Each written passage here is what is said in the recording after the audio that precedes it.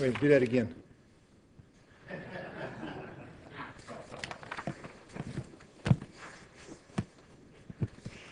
Um, Navy veterans, I know there's at least one in the audience, uh, along with myself. Na- The word Navy is actually an acronym. Um, The, the the last question that was asked, I think Brother Brewer didn't really have a chance to get to it about whether you have to know you're a member of the church for your salvation to be effective. I got to thinking about it, and yesterday I, I asked Michael if I could take that question. He said, yes, you can, because you're going to have the open forum. Na- Navy stands for, Navy stands for never again volunteer yourself. I haven't learned that question. I haven't learned. The first question we have here is, is in your understanding, what is necessary for one to know, what is necessary for one to know in order to become a Christian? In other words, what would be the basics that a person must understand to become a Christian? Well, the, first part I understand what they're asking, but my, my understanding has nothing to do with it. It's, it's obviously what the Word of God has to teach. And that's what we go by. Colossians 3.17, whatsoever you do in word or in deed, do in the name of the Lord Jesus Christ, giving thanks to God and the Father by him. So we must always look to the word of the Lord to find out what it is we're supposed to do. In regards to Bible study, when we read the Bible, when a person read, just simply read, sits down and reads the text of the Bible, open it up and just start reading, when you read those words, if you'll take those words in their common everyday meaning, that if you would, that you, as you would use them in a conversation, as you would read in the newspaper, as you would read in a, in a regular magazine, um, unless, and you would understand them that way, unless there's something in the context that would cause you to, that would cause the words to stop meaning, ma- making any sense. Um, when, when Jesus called Herod a fox, well, was Herod a fox? Was he had little black feet and a pointy nose and a long bushy tail? The, the answer is no. That would be silly. When Jesus said, I am the door, was he literally meaning a door with hinges and handles? And no, that's that's obvious. That renders the, the passage nonsensical. So there's there is a, a, a, a it's not a literal, it's a figurative meaning at that particular point. So as we read the Bible, we need to just simply look at the words and apply them in their common everyday meaning. So, as we look at this, what must I understand? uh, let me give you a, a, a, phrase, a comment here. It, it, God exists, the Bible is His Word, and only those that believe in, love, and obey the Bible as the Word of God have any hope of heaven. Again, God exists, the Bible is His Word, and only those that believe in, love, and obey the Bible as the Word of God have any hope of heaven. First of all, God exists. There's only two and you must understand this. You must acknowledge it as the truth, not as your feeling, as your hope, as your belief, but you must know this to be the case. There's only about two, two basic models for, to account for existence. That, that matter is eternal, and science teaches us that it is not. I'm not a scientist. I, have never really studied it as a scientist would, um, but uh, I, guess, I think it's the law of thermo, thermodynamics, and the law of entropy teaches that that the earth is slowing down and deteriorating. So somewhere back up the road it was really doing well and now it's not doing quite as well and later on down the road it's just going to grind to a stop in some form or fashion. And that's what science teaches us. This, the second model or the second possibility as, is that there was once nothing. Now, if matter is not eternal, if matter has not always been in some form or fashion, then there was once nothing. And if that is the case, why is there now something? There, uh, the laws of physics, as we know them and understand them, cannot account for non existence, and now we have existence. Louis Pasteur, back in the 1800s, proved that gener- spontaneous generation does not exist. It does not happen. He did an experiment, took meat, sterilized a couple of bottles, uh, with a with a gooseneck in it, and he put these this meat uh, down in the in these bottles, and some of them he stopped up and put filters on and stuff, and they were wondering where flies came from, basically, and they they realized that flies did not have have access to some of these bottles that were stopped up and filtered that flies couldn't get to. So spontaneous generation is not the answer, and there are people that are relatively intelligent that say, "Oh yes, it does." Well, no, I mean just no. So how do you account for existence? Well, there had to have been some force, some mind, some intelligence, some something that brought all this into existence. Now, without going into any more detail than that, Genesis chapter 1 and verse 1 says, In the beginning, God created the heavens and the earth. You have force, you have time, you have energy, you have matter. It all came into existence. Now, uh, and that's really as far as we'll take that particular part of it. Uh, in in the, uh, the, the, the lectures we've had, we've had some uh, uh, two, two excellent lectures dealing with worship. Uh, we've had an excellent uh, uh, lesson that dealt with how we got the Bible. Uh, Brother Post talked about, about inspiration of the Bible. Uh, the Bible, we can validate the, the Bible being authentic. We, look at, we look at prophetical statements, how prophecy deals with how the Bible has come about because of prophecy. Um, and what the example was given, and I forget now who gave it yesterday, the day before, about covering Texas with silver dollars and then reaching into the, and find the one that was that was painted red or marked in some fashion. Somewhere out there in the nether regions of Texas, you go out there and put your hand down one time and pick out that particular uh, uh, silver dollar. Um, so, you know, the, prophecy indicates to us that, that Jesus is, in fact, the Son of God, because the probabilities of just one prophecy applying specifically to one person is, is rare. And then when you get eight of them, that's just really like point zeros way out there to the right somewhere. Uh, so the Bible can be validated. The Bible scientifically teaches, you know, what it teaches scientifically, all the paths of the sea, for instance. Um, Job, I think it is, talks about all the water flowing down into the sea, and then there's the evaporation the, by implication, and it hits the clouds and goes back and starts that whole cycle all over again. So, scientifically, medically, um, the Bible is valid because we have them practicing sanitation uh, back in the book of Leviticus. That when, when, uh, when it came down to, to isolating and quarantining those with leprosy, in central um, north no south central Europe at the top of Italy in that area and there there were back in the 13th or 14th century there was a an outbreak of leprosy. And some good soul was reading the Bible and and, and read through Leviticus and found out this is what they did back then. Let's do that well it worked how, how did Leviticus how did Moses know that well there's no way he could have known it on his own he had to have it by inspiration okay we can give a number of examples like that and I'll leave it up to the questioner and all those that are interested to, to look into that particular part of it. But once we've validated that the Bible is, in fact, that God exists, the Bible is His Word, then the next thing for us is to simply look at what the words of the Bible actually say. That we are, that, that this God, that it now exists, a deity, has created us in such a way that He's able to communicate with us. I've actually had people tell me, well, I don't believe in God. Well, why not? Well, because He's so, he's so above us, as the Bible describes it, which I find interesting. How do they can understand that? He is so high above us that he wouldn't be able to communicate to us. Well, that's just blasphemy. I'm thinking if he could make us in the first place, he should be able to at least talk to us, poke us in the side, get our attention in some form or fashion.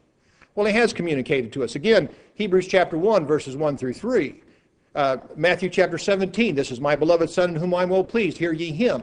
Hebrews chapter 1, uh, God has spoken unto the prophets and fathers in divers manners, now has spoken unto us in these last days by his Son.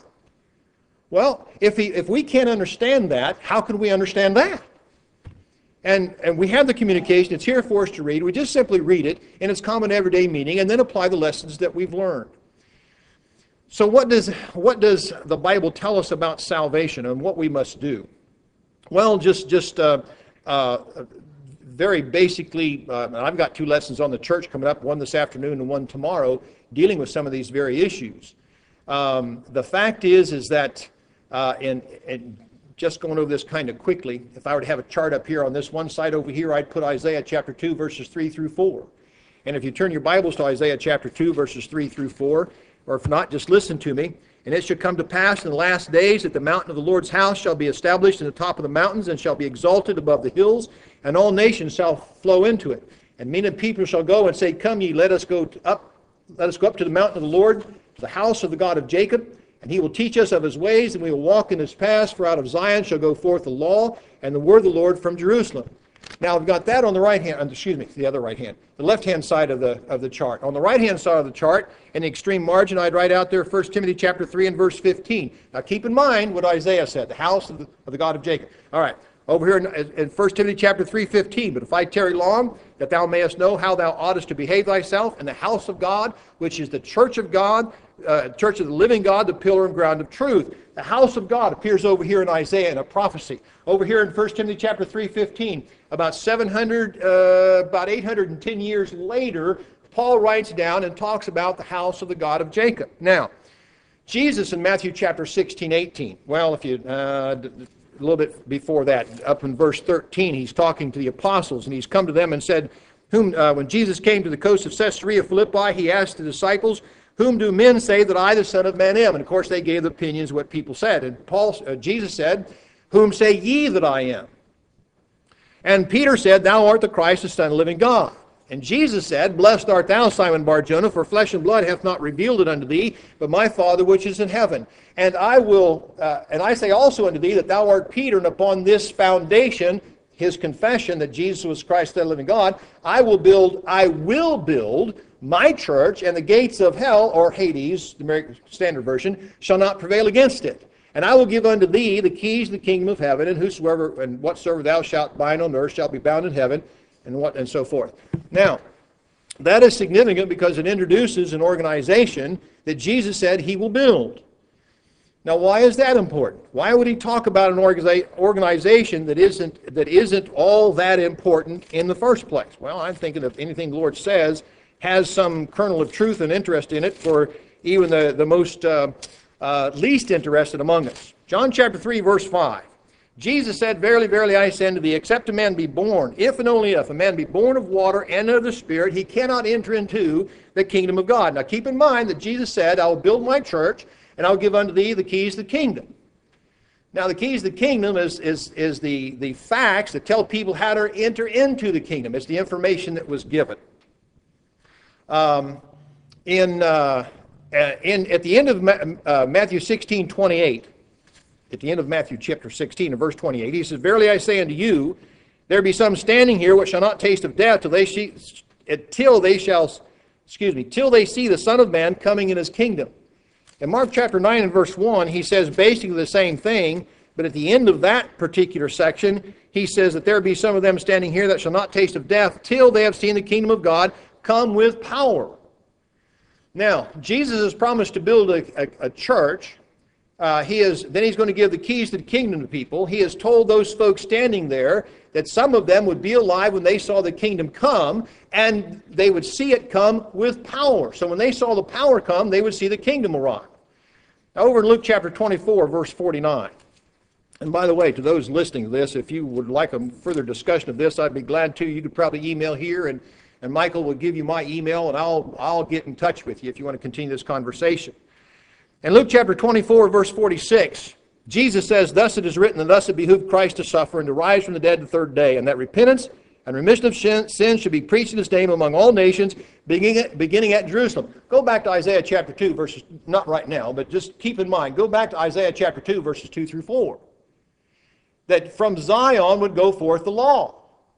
Jesus said, From Zion shall go forth the law, but he said it this way that, uh, that remission of the repentance and remission of sins should be preached in his name among all nations, beginning at Jerusalem. And notice again in Isaiah that all nations would go up to the mountain of the house of the Lord. That's crucial. And he says, Ye are witnesses of these things. In verse 49, he says, And behold, I send the promise of my Father upon you, but tarry ye in the city of Jerusalem till ye be endued with power from on high. Go back to Mark chapter 9 and verse 1. They would see the kingdom come with power. When the power came, the kingdom came. And you cannot divorce the two and still remain logical and rational and not have us look at you rather strange when we just look at the common words. In Acts chapter 1, in Acts chapter 1, um, verse 4, um, being assembled together with them, this is after the ascension, this is after the, uh, the uh, resurrection, the, after the 40 days, and just prior to the ascension. Uh, commanded them, the meeting with the apostles commanded them that they should not depart from Jerusalem, but wait for the promise of the Father, which saith he, Ye have heard of me. For John truly baptized with water, but ye shall be baptized, ye, the apostles, with the Holy Ghost not many days hence. Verse 7 says, It is not for you to know the times. They, they asked when the, the king would be restored at that point. It is not for you to know the times or the seasons which the Father hath put into his own power, but ye shall receive power After that, the Holy Ghost has come upon you. Now, what was going to come with power? Upon those that were then standing there in Mark chapter 9 and verse 1? It would be the kingdom. Jesus is talking to those that were standing there when he said that in Mark 9 verse 1 and also a, a, comparative statement in, Mark, and, and Matthew 16 and verse 28. That they would be standing there, that they would receive the power. Jesus says, not many days hence. And ye shall be witnesses unto me both in Jerusalem and in all Judea and Samaria to the most parts of the earth. Again, all those nations and so forth. Now, did the power come? The answer is yes. Look at Acts chapter 2, verses 1 through 4. And when the day of, uh, excuse me, Brother Brewer was talking about this the other night. If you look at the end of, of, of chapter 26, Acts chapter 1, let's just read that together. And they gave forth their lots, the eleven, and the lot fell upon Matthias, now totaling twelve, and he was numbered with the eleven apostles. And when the day of Pentecost was fully come, they, the apostles, with Matthias, twelve guys, twelve men, they were all with one accord in one place, and suddenly there came a sound from heaven as of a rushing mighty wind. It wasn't, it just as sounded like it filled all the house where they, the apostles, were sitting. And there appeared unto them apostles, cloven tongues like as of fire, and it sat upon each of them. And they, the apostles, were filled with the Holy Ghost, and began to speak with other tongues as the Spirit gave them utterance. Them, the apostles. What happened when the Holy Spirit came? The Holy Spirit would come with power. What were they going to see come with power? The kingdom. Did the power come? Yes, the kingdom also came. People have to know that. They have to know that. Now, what's the significance of all of that? If you continue on in Acts chapter 2, repentance and remission of sins among all nations is begun to be preached in this particular passage. Peter begins his sermon in Acts chapter 14. He runs down through the end of that thing, and he convinces the people that they have just murdered the Messiah, the man they have been waiting for for lo these thousands of years. In verse 37, they said, Men and brethren, what shall we do? What did Peter say? Repent and be baptized, every one of you, in the name of Jesus Christ, for the remission of sins, and ye shall receive the gift of the Holy Ghost. What? Yes. What are we going to do? We murdered the Messiah. What are you going to do this? That's Peter's response. And with many other words, he continued to exhort them, verse 40 and 41. And with many other words did he testify and exhort, saying, Save yourselves from this untoward generation. Then they that gladly received his word. There's a whole lot of folks there that received the word. There's a relatively speaking handful of those people that gladly received it. How do I know that? It says that, but how do I know they received it? Um, and they and received his word, were baptized. There's a whole lot of folks that weren't baptized. Now, I'm glad 3,000 were. Oh, 3,000 souls the day of Pentecost. Out of how many? Well, a whole lot more than 3,000. But those 3,000 did gladly receive it. And I'm glad to say a whole bunch of them followed along as time went on. Now, what happened to those folks that gladly received the word? Verse 42, it says, They continued steadfast in apostles' doctrine, fellowship, breaking the bread, and prayers. Those people had to know who and what they were. They had to know that they had just received remission of sins because they asked what they were going to do. How do we get over murdering the Messiah? Well, you repent and be baptized for remission of your sins. Well, okay, I can do that. And then what happens? They continue steadfast in apostle doctrine, fellowship, breaking bread, and prayers. And he goes on down to verse 47, praising God and having favor with all the people, and the Lord added to the church daily such as should be saved. Why is that significant? Jesus said, I will build my church. Paul says in 1, Timothy 3.15, uh, he talks about the house of God, which is the church of the living God, the pillar and ground of truth. So between Isaiah and, and 1 Timothy, Jesus comes along in Matthew 16, says, I'm going to build it. Over here in Acts 2, verse 47, we not only have it built, we have folks entering, entering into that thing. How did they get there? They got there by doing what the apostle said to do. Repent and be baptized, every one of you, in the name of Jesus Christ for the remission of sins, and ye shall receive the gift of the Holy Ghost. It happened. They knew what they were doing. How? Because they continued steadfastly in it. You don't, you know, after a while you're walking down the road and you think, you know what, I think we've just come too far. We've missed our turn. And my wife says, you should have turned back a mile ago when I told you to. Well, somewhere along the line, those folks are going to figure out, you know, what are we doing? And they're going to get the information they needed. Now, um, it talks about remission of sins. What is it that washes my sins away? I don't know of any Bible student of any level, uh, this is a serious Bible student of any level, that wouldn't answer, well, the blood of Jesus, and they'd be wrong. The blood of Jesus was shed in his death. John chapter 19, verses uh, uh, 34, 36, down through verse 39, when Jesus has died, The soldiers come along breaking the legs of the two uh, miscreants on either side of him, and they come to Jesus and they see they see he's dead already. What did they do? The soldier took his spear, pierced his side. What happened? Blood and water came out. When did the blood and water came out? When they pierced his side. When did they pierce his side? After he had died. His blood was shed in his death. What's the significance of that? Zechariah 13:1. There's a fountain going to be opened up in Jerusalem for the remission of sins. That's what Zechariah says. That's that's kind of a rough accounting of it, but that's what it says. Now, why is that significant? Well, where does your blood flow? Your blood flows in you. And as, as long as you're relatively speaking healthy and no open wounds in your body, it's flowing in you. Now, if Jesus' blood flows in Jesus, where do I need to be? I need to be in Jesus. Now, we find uh, we're just going to have to go quicker than what I had originally thought, but we're going to go quicker still. In, um, uh, in Ephesians chapter 1 and verse uh, 22 and 20, 23, well, okay, let's, let's look first at Romans chapter 6. Let's go Romans chapter 6, verses uh, 16 through 18. What then shall we, verse 15 says, What then? Shall we sin because we are not under the law, but under the grace? God forbid. Know ye not that to whom ye yield yourselves servants to obey, his servants ye are to whom ye obey, whether of sin unto death or obedience unto righteousness.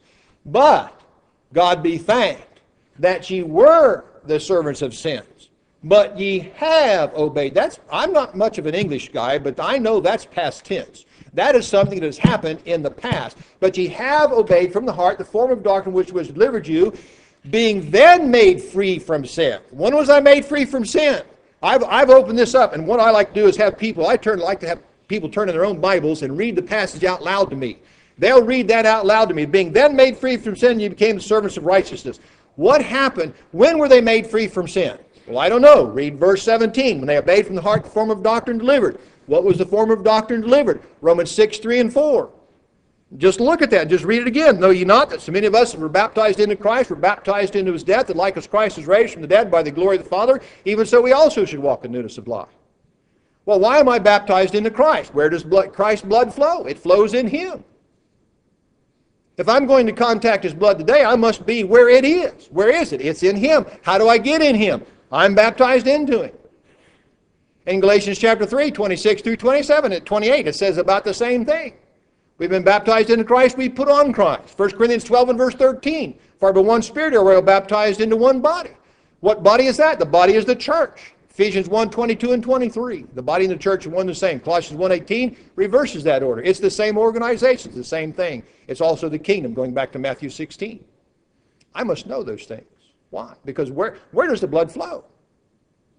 It, it, it flows in Jesus. Paul in Acts 22, 16, accounting his, his um, uh, uh, the, the, point in time when he obeyed the, the, the doctrine of Christ, uh, Ananias had come to him, and he said, now why tarriest thou? Rise and be baptized and wash away thy sins, calling on the name of the Lord. Wait a minute, I don't believe in water salvation. I don't either, and I don't, as far as I can know, I don't, uh, I'm aware, I don't know of any, any Bible student or faithful Christian that believes we're saved by water. We're not saved by water. Peter said it's not the washing away of the filth of flesh, but the answer for a clear conscience. How's my conscience get clear? It gets washed in the blood of the Lamb. When does when do my do, when does my soul get washed clean in the blood of the Lamb? It gets washed clean in the blood of the Lamb when I am baptized for remission of my sins. That's what Paul said in Acts 22, 16. And, uh, and you could, I would encourage you to study Hebrews chapters 9 and 10. It's not possible the blood of bull, bulls and goats can take away, can, can wash away sins. It takes the blood of Christ. And the only way we contact it is, is in the water grave of baptism. It is a spiritual activity. Our hearts are sprinkled with blood. Uh, Hebrews chapter 10, I believe it's verse 21 or 22. Well, all right. Anybody have anything they want to add to that? No, there's a whole lot more. You're not going to do it from there, brother? Okay. I know. I just wanted. To, I just wanted to make sure you knew. Okay. Come come down here before you start speaking. Tell us who your name and where you're from. Dale Cunningham, Bellview Church, Dale Cunningham, Bellview Church of Christ. Turn to Revelation 1:5, and it rhymes with 22:16 of Acts that he just got through reading. And uh,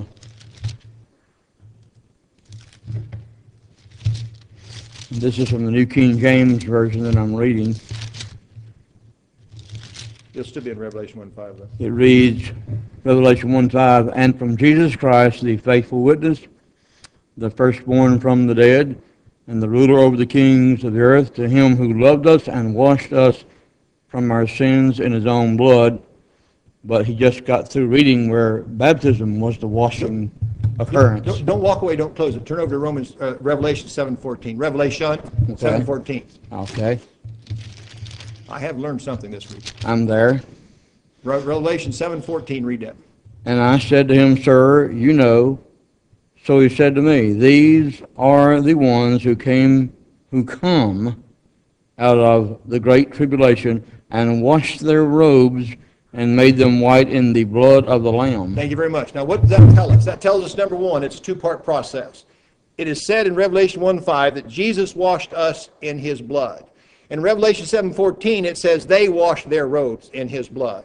It's a, it's a simultaneous process. There, there is, a, there is a, a, a sense that we both, Jesus and we as individuals, I as an individual, are both doing something during the action of baptism. Jesus is doing it to me, but yet I'm doing it to my own robes, my spiritual robes. Ephesians chapter 5 teaches about robes, spot and wrinkle, no blemish, and so forth. Would anybody else care to add anything? Okay. Very good. Or you're also stunned, I don't know. Number two, is all use of puppets unscriptural, or is it possible for teaching in Bible classes not worship? Is the use of Betty Lukens flannel graph also wrong? What about color slides or videos? In uh, Ephesians chapter 4, uh, verse, uh, verse 11, it gave, and he gave some prophets, gave, excuse me, gave some apostles and some prophets and some evangelists and some pastors and teachers for the perfecting of the saints, for the work of the ministry, for the edifying of the body of Christ. The church is a teaching organization. Our job is to evangelize, go into all the world, preach the gospel to every creature. Our job is to teach people what the truth is, to live it, show it by example, and to teach it by precept. Anything we do in, in teaching people that doesn't violate any other tenet of Scripture is an expedient. It's an expedient. This, this microphone right here is an expedient in teaching the truth. This building is an expedient in teaching the truth. Uh, uh, a Bible, to a very large degree, is expedient. Many of the brethren here have have uh, uh, laptops and, and I, excuse me, iPads. I'm sorry, Michael, an iPad. Whew. If I want to get invited back next year, iPad. He uses quite extensively, and um, it doesn't hinder him in his work. and he uses that to help him do his job up here. I, am assuming he uses it when he preaches also. I think I've used, uh, seen him, seen him do that. So it's a fact that we can use an expedient. Now, in a Bible class, a Bible class, a Bible class, uh, an expedient that, that is something that doesn't violate scriptures inherently uh, or even instrumentally in the immediate use would be fine to use. And I don't personally see anything wrong whether whether it's a, a chart, whether it's something I print out on a piece of paper and hand out, it'll be an expedient. Now, as long as I'm teaching the truth in that process in a Bible class, it's an expedient to do those things. Now, what about in worship assemblies? Um, there's been two good lectures delivered on worship. I would encourage you to, to, uh, to read those two lectures. A, a worship assembly is a moment of sacredness. That we are entering into the throne room of Almighty God. That when Joseph was taken out of prison, he changed his clothes and washed himself. Um, when I, it, it seems to me when Daniel was taken out of the lion's den, he also got himself ready before he went into the king. When Nehemiah, the cupbearer to the king, had a long face, he was in danger of having his head cut off because the king said, Why are you unhappy? You're, you're in my presence, and you better have a smile on your face. Why are you unhappy? And Nehemiah prayed so that he would say the right thing to the king and not have his head cut off. So when I approach the, the Lord, when I approach the God of the universe, I had better be in a very, very humble situation eh, in my own mind, and I better have prepared myself. I mentioned uh, bib overalls the other day, and also have those top buttons buttoned too, brethren. When we worship God, it is serious. We do not have, we're not here to entertain or to be entertained. I don't want to see your puppets. It's not the time and place for it. Yeah, but people will learn. That's right. They will learn. I'm going to tell you they're probably not going to learn the right things because we won't be showing proper respect. Um, Betty Lukens flannel graphs, I've never used them. I've seen them used. I suppose they're all right in their own place as long as you, uh, the material is appropriate to be used anyway. So I, I can't address that too much. What about color slides or videos? I couldn't tell you the number of people that have been converted from the error of their ways because of the Jule Miller film strips uh, or the John Hurt uh, eight lesson Bible series uh, or any of those things like that. I, I see nothing wrong with those, assuming that there's no, no error in and of those things by themselves. Let, let me just say one other thing about worship assembly. Years ago, we were traveling and we're visiting with a congregation, and as I was coming coming down in through the back, well, it'd be the, the door back there, and coming down the aisle, young people. The first two or three rows of pews had the young people, and they're all sitting there dressed nicely, and they're sitting there quiet. College age group. I said, "Man, this is great, great, it's wonderful." And as I walked down the front, I wanted to shake hands to the preacher and introduce myself since he wasn't looking me up. I happened to look down, and they're all sitting there with their hands folded in their laps, and every, every one of them had a microphone. There was your chorus. Now I said, I said to Jerry, I said, we're not probably going to come back here again. I got to thinking about that. You know how to break them of that? I'd get me a microphone on the same frequency. And I would give a demonstration on, on sour singing and they wouldn't know where it's coming from. That's just wrong. Those things are wrong. Um, number three. Oh, anybody have anything they want to add to that? Be glad to hear it. How much more time I got, Michael? How much more time I got? As we can remind you that other question. Oh, okay, this one right here. Can a person choose to worship alone and be pleasing to God if he could assemble with the saints? Um, I, I, just just answering that as it's written, the answer is is no. Assuming now, there's some. Let me make some assumptions here, and I'm and if I'm assuming too much, I'm sure we'll be informed of it. The assumption is is that he could, that there is nothing that something didn't come up. I hate that phrase. Well, something came up. Uh, that something hasn't come up that he otherwise could. He's in good health. He's not contagious. He's got a car that works. It's got gas in it. The road is open and clear. Um, he can get there. Why isn't he there? The question I want to come back, and I would come back and ask this person, well, why aren't you going? Is there some reason prohibiting you from going? And if the answer is no, then you should be assembling with the saints. Now, I'm assuming that there's not anything else involved with this. I learned a long time ago when somebody asks you a question in Bible class, they're not asking you a question in Bible class. They've got an agenda to grind on. Okay? So I'm going to assume that that's not the case, that there's not a situation out there where somebody says, I'll call in and I'll show. So if the so to, to make that choice, that yes, they have that power of choice, we're free moral agents, but it is a choice that would be wrong, given my assumptions that I've made here. He would not be pleasing to God. He is not assembling with the saints. He is assembling with himself. I, I, I don't know how you assemble with yourselves, but you know, now if you're locked in the closet, if you're tied to the wall, if you're prohibited in some fashion from going to services, notice I said service is not going to church, attending worship assembly, then you should be in the worship assembly. And why wouldn't you be? I guess would be my question. Would anybody else care to add anything to that? Enlighten us if I've missed something, I've assumed too much. All right. Michael, you got anything you want to add to it? He's sitting there. I guess the answer is no. Right? Yes. If you're going to gather together, you should, you should, you should, what, what, well, let me ask this. Why wouldn't you want to? We were trying out at uh, church up in northern Virginia years ago. I was trying out. My wife was along for the ride. and and um, I was told that there was a lady that we were, they put us up in a motel, and the motel had a had a uh, uh, a restaurant that they would uh, pay for the preacher to eat at, and and they told me that there's this lady, red-haired lady, and she was going to to be there, and and she was going to sit down and and talk with us and get friendly, and then she'd say, "Do you does a Christian have to be at Wednesday night Bible classes?" so we walked in, and sure enough, she was sitting her she was sitting right there, and we sat down, and Jerry said, "Is that her?" "Yes, that's her." So we're sitting there. She comes up and she says, Are you the visiting preacher? I said, Yes, ma'am, I am. I stood up and glad handed her and introduced myself. And she, I said, Sit down, sit down. So we're sitting down. You like a cup of coffee? Gave her a cup of coffee. Yeah, mean, it was on church's dime.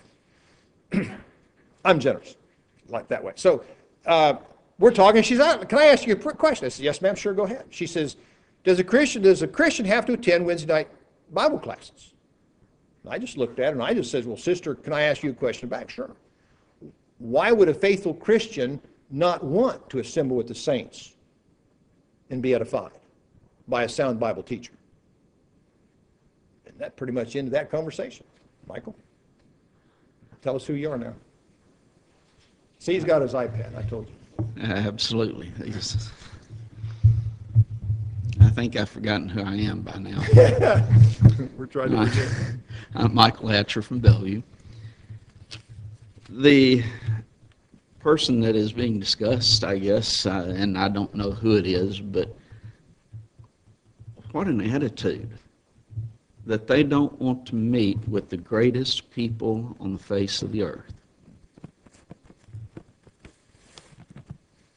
How ungodly is that? I- that I don't care about them. Uh, if nothing else, if you're so great, why aren't you there giving your, your greatness to them? Yes. It might rub off. It might rub off. That's right. Uh, otherwise, you need to be there to be encouraged by other brethren. You need to be there to enjoy that fellowship with the greatest people on the face of the earth. Why would you? Why would anybody want to stay away? And you know, we talk. You have to go to worship service? Well, we talk, how many times have we through the years talked about that's the wrong attitude. It's an improper attitude. It's a sinful attitude. We should have the desire to. And we should have the desire to meet with the saints. One of the, uh, in psychology and the needs of man, we immediately recognize the need for air and water and food and things like that, but one of them is the need for community. Yes. Yes, exactly. Community is association with others. God has provided the Christian a community to associate with. When you shun that community, well, isn't that what withdrawal of fellowship is all about? When we withdraw our fellowship, we are withdrawing that community from that individual to make that individual recognize his sin and thus to repent. If that individual is refusing to associate with the Christians and refuse, refusing his fellowship with them, then he's withdrawn fellowship from them and has no right to. For one thing, if the, and we're assuming that the congregation there is faithful and just and right with God, has no right to. And so there's a lot of other aspects that enter into this other than, you know, you need to be there. Well, yeah, you do need to be there, but there's some other aspects that you need to consider as well.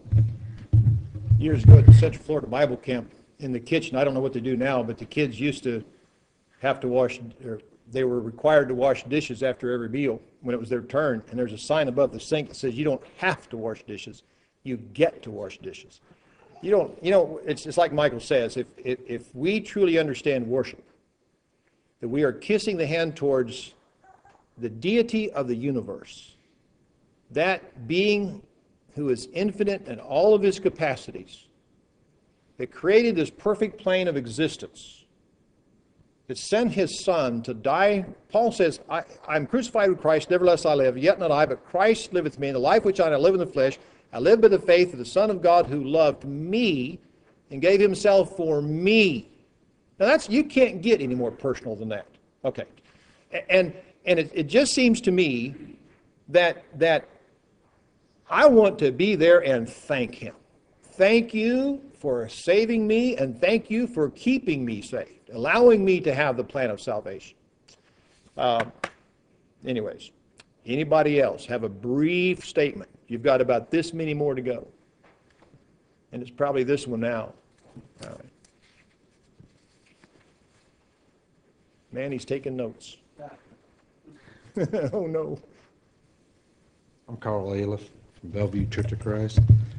This will this pertains a little bit to that question there about, but what I really wanted to talk about is there was a question Saturday about two Christians wanting to live together thinking it's all right just because they're not having sex.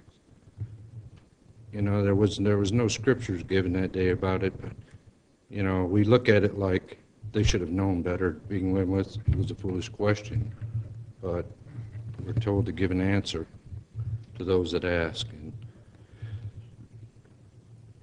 Same with not coming to the worship service. People are watching you. Your neighbors watch you. It says uh, to abstain from all appearances of evil, 1 Thessalonians 5, 22. It says that you may walk honestly towards them that are without. Uh, 1 Corinthians 8:13. Wherefore it is, meat maketh my brother to offend, I will eat meat no more. Least I, while the world standeth, lest I make my brother to be offended. There's so many scriptures showing that we are a light to the world, and if you put your own light out, you're walking with them, and you're bringing reproach on the church. And it says, giving offense in anything that the ministry not blamed. That's 2 Corinthians 6, 3. Providing this that no man should blame us in this abundance which is administered by us, providing for honest things, not within the sight of the Lord, but also not in the sight of man. So when you do things just because you know, you say you're not doing something wrong. What would be the difference of you seeing a brother's vehicle outside of a bar and he's saying, well, he was in there, but he wasn't drinking? You know, I mean, it's, it's appearance. You're, you're appearing to be like them. If you, there's Isaiah 8, for the Lord spake to me with a strong hand and instructed me not to walk in the ways of this people. We're not to, to appear like them. We're Christians and we should be different. Thank you, Carl. There were, there were some uh, passages, I think one of the, the first one, you, First Thessalonians 5 that you mentioned had been, had been cited the other day. Yeah, yeah. Uh, Appearance, appearance is, uh, is a very serious thing. We, we should not behave, eh, and there's always going to be somebody who's going to gainsay whatever you do, think, or say. But accounting for those folks, we should always behave in such a way that nobody can, can criticize us. Uh, First Peter chapter 4 teaches that. Yeah, yeah, and, and all it takes is just one little thing for somebody to, to, to see you do something that you thought was innocent and you had nothing in your mind.